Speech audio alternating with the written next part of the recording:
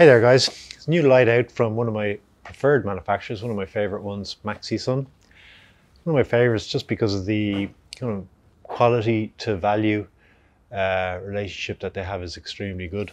They put out two um, lights previously, or I've tested two lights previously, the MF series, the MF 1000 and 2000, which are the quantum board style lights with the, um, the aluminium reflector and the thing that uh, makes them stand out is really the quality of the build and construction, as well as good performance and very good price. So they brought out this LED bar type light now, and really interested to see does it follow uh, with the same level of quality and um, robustness and performance as the previous lights do. It's an unusual size in that it's 300 watt LED bar light size um, pulls 288 watts from the wall and is rated for a uh, three foot by three foot area up to three and a half foot by three and a half foot or one meter by one meter. And it covers this very well, given its structure and size. It's perfect, um, gives a perfect distribution over that space, as we'll see shortly. So straight out of the box, I could tell really good quality build. Um, just nice finishing all around, everything very solid, crisp detailing, and um, yeah, very simple construction, but very robust. It's got all the features that you'd want in terms of, uh, it's got a um, Meanwell driver on the rear, uh, along with a little dimming station on the front, so you can adjust from 0% up to 100. Um, got a really solid four uh, LED bars here with packed with LEDs um, and with a silicon coating over them to protect them from dust and dirt. The spectrum is a mixture of 3K and 5K mid-color temperature and cool white LEDs along with Osram reds uh, and far reds.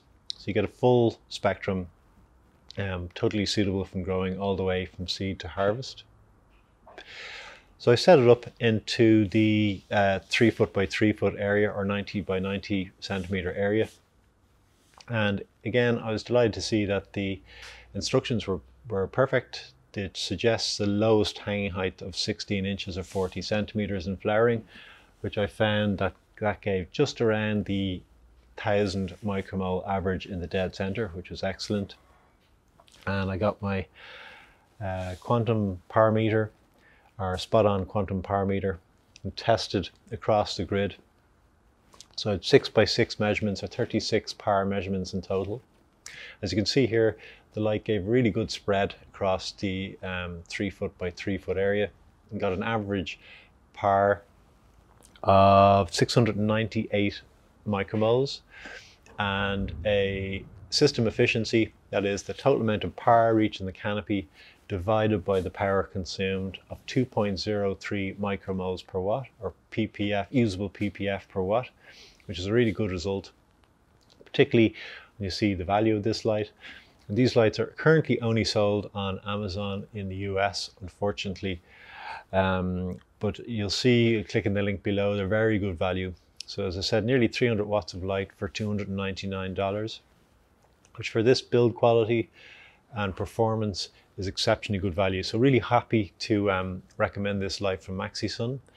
And uh, yeah, nice to see smaller LED bar lights suitable for smaller spaces um, rather than this everybody focusing on the sort of six, 700 watt lights. Hope you enjoyed. If you have any questions or comments regarding this light or anything else, please leave them down below and I'll get back to you as soon as possible. Take care.